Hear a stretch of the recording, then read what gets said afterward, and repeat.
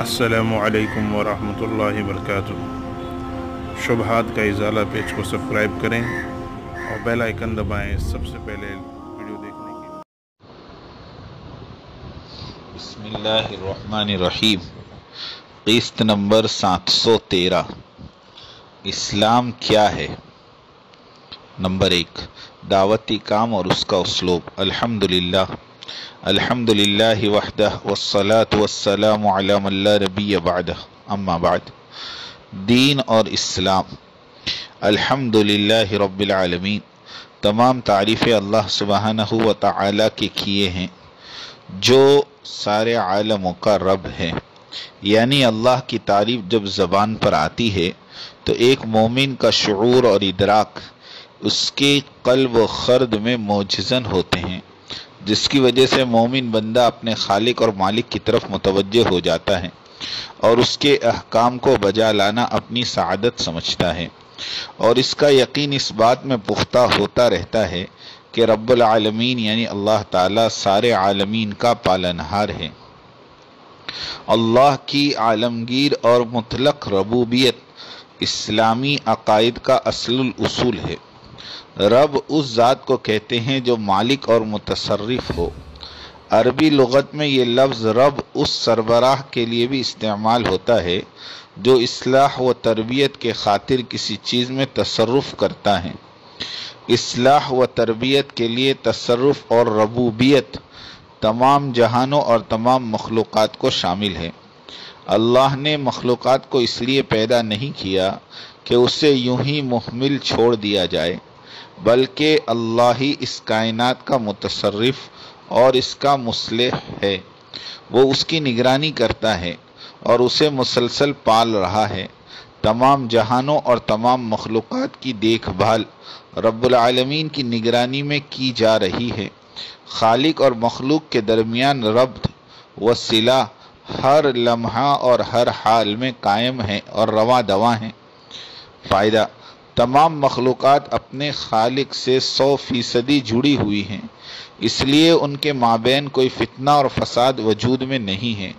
अलबत् इंसान अपने रब से कुल्ली तौर पर जुड़ा हुआ नहीं है, जिसकी वजह से आफात व मसाइब का शिकार बना रहता है और उसकी तबाह हाली की पादाश में आसमान से नाजिल होने वाली आफतों से इंसान के साथ साथ दीगर मखलूक़ात, यानी हैवानात और नबातात भी ज़िद में आ जाते हैं।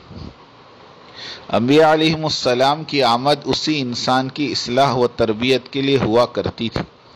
अब चूँकि नबूत का दरवाज़ा बंद हो चुका है और क़यामत तक कोई नबी नहीं आएगा, इसलिए इस उम्मत मुस्लिमा पर नबियों वाला काम और उसकी ज़िम्मेदारी डाली गई है। कलम नमाज़ वाली दावत ही क्यों? जिस तरह भूखे को पहले रोटी दी जाती है, फिर कपड़ा और फिर मकान। अब अगर कोई कहे कि हम तो रोटी नहीं देंगे, हमें तो कपड़ा और मकान तैयार करना है तो उस बेचारे भूखे को रोटी कौन देगा? और रोटी बिना ये कैसे जिएगा? ये तो मर जाएगा। आज अहले इल्म और हुनर, साहिब सियासत और सियादत, मदारिस व मकातिब दीन से बेबहरा आवाम को कलमा नमाज़ देने को तैयार नहीं हैं। कहते हैं कि हम तो ूम और हुनर और सियासत देंगे, हुकूमत की कुर्सी देंगे, इल्म और उलमा देंगे। हमसे तुम भूल कर भी ईमान और यकीन नहीं मांगना। ये चीज़ें हमारे सिस्टम में हरगिज शामिल नहीं हैं। इसलिए कि हम उलमा और सियासत और सियादत और हुकूमत वाले लोग हैं। हमसे ये दावती काम कभी भी नहीं होगा। ये हमारी शान के ख़िलाफ़ हैं। कि हम किसी जाहिल, गंवार, शराबी, कबाबी को अपने नज़दीक आने दें, या हम खुद उसको तलाश करने शराब और जुए के अड्डे पर जाएँ। ये कोई अफसाना नहीं ये हकीकत है कि अहल हल अक़द और अहल सियासत व सियादत की इन बेतनाइयों की वजह से इंसानियत का नबे फ़ीसदी तबका अपने पैदा करने वाले खालिक और मालिक की मारिफत और पहचान से महरूम रहा। और उसे यह भी शनाख्त न रही कि वो दुनिया में क्यों आया? क्यों उसे दुनिया में भेजा गया? उसको यहाँ दुनिया में कैसे ज़िंदगी गुजारना है? और फिर मर कर यहाँ से कहाँ जाना है? इसी मकसद हयात को समझाने और उसे याद दिलाने के लिए अल्लाह ने अपने महबूब बंदों, यानी नबियों को मुतवातिर भेजता रहा। और अम्बिया आकर अपनी कौम को तबलीग के ज़रिए ये बातें समझाते रहे। जिन लोगों ने अपने नबियों की बात मानकर उनके पीछे चलते रहे, वो कामयाब रहे और जिन्होंने नबियों की बातों का इनकार किया, वो नाकाम रहे और बाज़ लोगों ने उन नबियों को सताया और तकलीफ़ पहुंचाई तो अल्लाह ने अपनी कुदरत से उन शरारत करने वालों को तबाह व बर्बाद कर दिया और अल्लाह ने हर दौर में और हर कौम में अपने नबी भेजे। कुल एक लाख चौबीस हज़ार नबी आए और हर कौम और इलाकों में आए। तारीख के रिसर्चर हजरात ने तहकीक करके ये भी लिखा कि कदीम हिंदुस्तान में भी दर्जनों नबी आए। कुरान मजीद में सिर्फ़ 25 नबियों का ज़िक्र है। इसलिए कि अगर सबका ज़िक्र किया जाता तो कुरान मजीद बहुत जख़ीम हो जाता। जिस तरह बाद में आने वाली कौमों ने अपने नबियों की तालीमत और किताबों में तहरीफ और तब्दीलियाँ करती रही हैं, जिसकी वजह से अल्लाह के असली अहकाम जो ईमान और अकीदे से मुतक थे, नुमाया तौर पर बदल कर रख दिए गए, वही हाल इस आखिरी नबी हज़रत मोहम्मद सल्लल्लाहु अलैहि वसल्लम और उनकी किताब यानी कुरान का ना हो जाए। अल्लाह ने उसकी हिफाजत का ज़िम्मा खुद लिया और क़यामत तक इस कुरान को महफूज रखने का वादा किया, जिसकी वजह से दस दस साल के लाखों बच्चे बच्चियाँ मिलेंगी जो कुरान के हाफिज हैं। कुरान उनके सीनों में महफूज हैं। हालाँकि वो बच्चे ना तो अरबी ज़बान ही से वाकिफ़ होते हैं और ना ही उन्हें मायने और मतलब का पता होता है। और ये इस्लाम के हक और अल्लाह के तरफ़ से होने की खुली दलील और चैलेंज है, जिसके सामने सारी दुनिया के अक्लमंद लोग आजिज हैं कि इस हकीकत को झुटला सकें। इसी तरह इस्लाम के रहनुमा हज़रत मोहम्मद सल्लल्लाहु अलैहि वसल्लम की ज़िंदगी और उनके बताए हुए ज़िंदगी गुजारने के तरीक़े हैं कि हर तरीक़ा महफूज है किताबों में भी और मुसलमानों की ज़िंदगियों में भी। इंसान के तारीखी दौर में जब इस्लाम एक इनकलाब बनकर आया तो क्या मशरक और क्या मगरब और क्या शिमाल और क्या जुनूब सब तरफ़ एक हंगामा बपा हो गया। और जो लोग नबी अकरम सल्लल्लाहु अलैहि वसल्लम के हाथ पर मुशर्रफ ब इस्लाम हुए, वो अपने दस्तूर हयात को, अपने तमदन व सकाफ़त को, अपनी कौमियत और वतनीत को, यहाँ तक कि अपनी मादरी ज़बानों तक को पसे पुष्ट डाल दिया। और सिबगतल्ला यानी अल्लाह के रंग में रंग गए।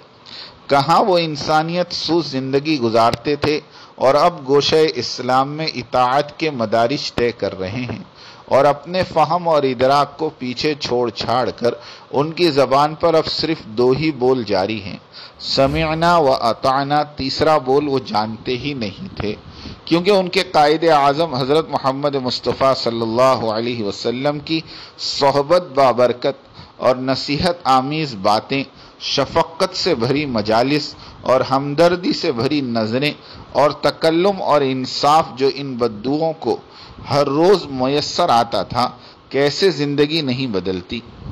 इन्हीं अल किताब यानी कुरान मजिद जो मिली हुई थी, उसकी तालीमत यही तो थी जैसा कि अल्लाह रब्बुल इज़्ज़त फरमाते हैं, व अनजलना इलेकल किताब बिलहक के मुसद्दिक़लिमा बैन यदई। और हमने आपकी तरफ़ हक के साथ ये किताब नाजिल फरमाई है, जो अपने से पिछली किताबों की तस्दीक करती है और उनकी मुहाफिज हैं। लतीफ़ा। पिछली किताबें दो काम करती थी। एक तो ये कि अपने से पहले की किताबों की तस्दीक करती थी। दूसरे ये कि आगे आने वाले नबी की बशारत देती थी। मुसद्दक़लिमा बैन यदैहि मिनत तौरा, व मुबशरम बरसूली यती अहमद। तस्दीक करती है तौरात के मुनज़ल मिनल्ला होने की। और बशारत देती है आने वाले नबी की कि उनका नाम अहमद है। और कुरान मजीद सिर्फ़ एक काम करता है, वो ये कि अपने से पहले की किताबों और नबियों और रसूलों की तस्दीक करता है। अपने बाद आने वाली किताब और नबी की कोई खबर या बशारत नहीं देता, इसलिए कि अब आगे न नबी आने का और ना ही कोई किताब। माकाना हदीस युफ्तरा वलाकिन तस्दीक लजी बैन यदई व तफसील कुल्ल व हुदम व रहमत कौमी युमिनून। ये कुरान झूठ बनाई हुई बात नहीं, बल्कि ये तस्दीक है उन किताबों की जो इससे पहले नाजिल हुई। खोल खोल कर बयान करने वाला है हर चीज़ को, और हिदायत और रहमत है ईमानदारों के लिए। तबलीगी काम क्या है? अब चूँकि कोई नबी क़यामत तक आने वाला नहीं और जब नबी ही नहीं आएगा तो आसमानी किताब कैसे आएगी? मसला अगर कोई कहे कि मैं नबी हूँ और तुमने कहा कि सनद और दलील पेश करो तो तुम सनद और दलील मांगने वाले भी काफिर हो गए। इसलिए कि जिस तरह अल्लाह का एक और यकता होना अटल है, इसी तरह हज़रत मोहम्मद का आखिरी नबी होना अटल है। सनद और दलील का मांगना इस बात की गमाजी करता है कि पूछने वाले के दिल में अभी किसी और नबी के आने का इंतज़ार है। उसे तो चाहिए था कि उस झूठे नबूवत के दावेदार का सिरे से इनकार कर देता और उसकी अच्छी तरह खबर लेता। ये फतवा हज़रत इमाम अबू हनीफा रहमत के फतावा में है। हमारे अक्सर ज़ाहिर मुसलमान लड़ाई झगड़े में और दुश्मनी व तसब में ताना देते हुए कह देते हैं कि फुला को तो तुम नबी की तरह मानते हो। फुला जो मर गया, वो फुला ग्रुप के नबी की तरह था, वगैरह वगैरह। मसला, इसी तरह से गैर नबी को नबी कहना। चाहे वो गुस्से में हो या ताना देने में ही क्यों ना हो, कहने वाले को इस्लाम से खारिज कर देता है। याद रखें, दीनी मसाइल में सबसे ज़्यादा नाजुक मसला ख़त्म नबूत का मसला है। लतीफ़ा इमाम आज़म ने कहा कि जिसने कायदे उला में बाद तशहद अल्लाह मोहम्मद भी पढ़ ले तो उस पर सद सहू वाजिब है। एक रात हुजूर सल्लल्लाहु अलैहि वसल्लम की जियारत हुई। फरमाया, नौमान, कायदे उल्ला में मेरा नाम लेने पर तुमने सद सहू का हुक्म लगा दिया। तो इमाम साहब ने अर्ज़ किया कि हुजूर, उसने आपके मुबारक नाम को बेख्याली और गफलत में लिया। इसलिए उसकी पादाश में सद सहू का हुक्म लगाया गया। भला गौर करे कि नाम मोहम्मद और नाम नबी को बेबिला वजह लेना और गैज व गज़ब में आकर गैर नबी को नबी के नाम का ताना देने वाले का अंजाम क्या होगा? अल्लाह से तौबा करे और कलिमा पढ़कर तजदीद ईमान करे। फ़ायदा, अजमत नाम मुस्तफ़ा का बयान मुख्तसरन ख़त्म हुआ। अब असल मजमून तबलीग क्या है की तरफ़ चलते हैं। अल्लाह और उसके रसूल के मानने वाले अपने अकीदे और अमल में सही हो जाए। अकीदा दुरुस्त हो, यानी वो इस बात को जाने कि अल्लाह और रसूल पर यकीन की गवाही देना शहादत कहलाता है। इसी तरह मुआयना वक्त पर नमाज़ अदा करना, मुआयना अवकात पर दिन में पाँच बार इबादत, यानी नमाज़ फ़र्ज़ है, जो इनफरादी या इज्तमाही तौर पर अदा की जा सकती है। रोज़ा माह रमज़ान में तुलू तगरूब आफ्ताब, खुर्द नोश से परहेज रखना।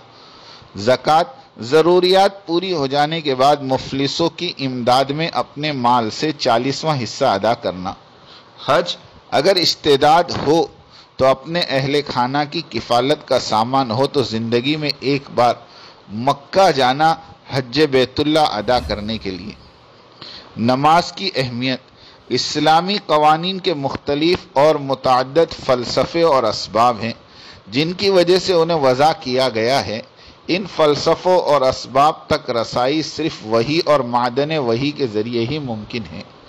कुरान मजीद और अहादीस में बाज़ कवानीन इस्लामी के बाद फ़लसफ़ा और इसबाब की तरफ़ इशारा किया गया है। इन्हीं दस्तूरात में से एक नमाज़ है जो सारी इबादतों का मरकज़ मुश्किलात और सख्तियों में इंसान के अकली और कल्बी तोज़ुन की मुहाफ़ हैं। इंसानों को बुराइयों और मुनकरात से रोकने वाली और दूसरे अमाल की कबूलियत की जामिन है। अल्लाह ताला इस सिलसिले में इरशाद फरमाते हैं, वह अकीम सलात ज़िक्री मेरे याद के लिए नमाज़ कायम करो। सुर ताहा नंबर चौदह। इस आयत की रोशनी में नमाज़ का सबसे अहम फ़लसफ़ा याद खुदा है। और याद खुदा ही है जो मुश्किलात और सख्त हालात में इंसान के दिल को आराम और इत्मीनान अता करती है। अला बेदिक्र तत्मिनकलूब आगाह हो जाओ कि याद खुदा से दिल को आराम और इत्मीनान हासिल होता है। नमाज़ सबब बनती है कि इंसान हमेशा खुदा की याद में रहे और उसे भूले नहीं। नाफरमानी और सरकशी ना करें। खुशु और खुजू और रगबत और शौक के साथ अपने दुनियावी और अखरवी हिस्से में इजाफे का तलबगार हो। इसके अलावा इंसान नमाज़ के ज़रिए हमेशा और हर वक्त खुदा की बारगाह में हाजिर रहे और उसकी याद से सरशार रहे। नमाज़ गुनाहों से रोकती और मुख्तलिफ़ बुराइयों से मना करती है। सजदे का फ़लसफ़ा, गुरूर और तकबर खुद खवाही और सरकशी को खुद से दूर करना और खुदाए वाहदहू ला शरीक की याद में रहना और गुनाहों से दूर रहना है। तबलीग में कलमे और नमाज़ की हकीकत को हासिल करने की फ़िक्र और मश्क की जाती है। हालात में दो काम ज़रूरी। पहला काम यह है कि साथियों को सब्र और इस्तकलाल पर जमाना। इसबिरु व साबिरु व राबितु। साबित कदम रहो, एक दूसरे को थामे रखो और नब्र आजमाई के लिए तैयार रहो। साबित कदम रहने के लिए दिल की मजबूती यानी शेर दिल होने की ज़रूरत है और यह हिम्मत नसीब होगी अल्लाह के ज़िक्र से। असहाब कहफ के जवानों के खिलाफ बादशाह की सारी बादशाही लगी थी।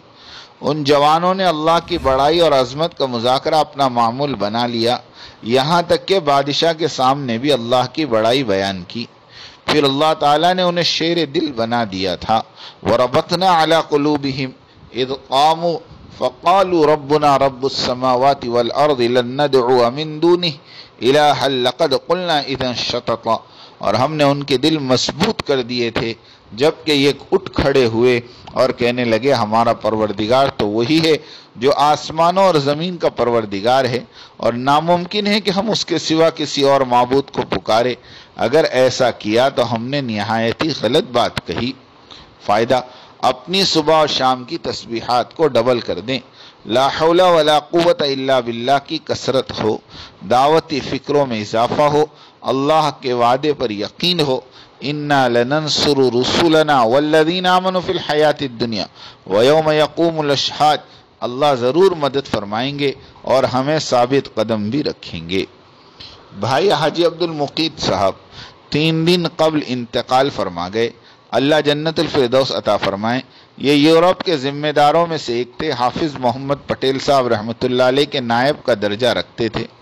सन 1971 से इंग्लैंड में यकसुई के साथ ज़िंदगी के हर पल में तबलीगी फ़िक्रों में डूबे रहते थे। ज़िंदगी बिल्कुल एक असली मेवाती की तरह सीधी सादी और जफाकश थी। अब्दुल मुकीद भाई रहमत के साथ बंदे का तबलीगी सफ़र अफ्रीका के मुल्कों में हुआ था। उलमा की अजमत कूट कूट के भरी थी। जब भी बयान करते तो बंदे से कहते, आप मेरे सामने बैठना, मुझे बहुत इनशरा होता है। बड़े साहिब राय थे। इनका इंतकाल हमारे लिए ऐसा है, जिस तरह घर की छती उड़ गई। इस तरह के लोग बहुत कम पैदा होते हैं। अल्लाह ताला हमें उनकी राह पर गामजन फरमाए और हमारे मरकज़ ड्यूसबरी को आबाद फरमाएँ। आसमां तेरी लहत पर शबनम अफशानी करे। सब्ज़ नूर सित्ता इस घर की निगहबानी करे। आमीन। वाखिर दावाना अनिलहमदिल्ला रबालमीन